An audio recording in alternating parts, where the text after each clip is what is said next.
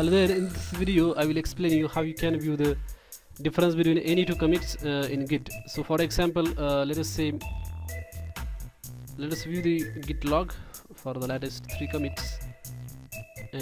Here are the largest three commits.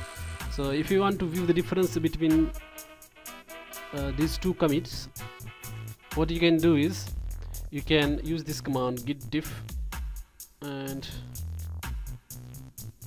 you can then copy this commit id or the hash id paste it. This is the first commit which I want to compare with the latest commit that is this one. Then copy that again and paste it over here. And then if I hit enter it will show me the difference between these two commits. As you can see it has found one difference in the file head and that was what added in that particular commit.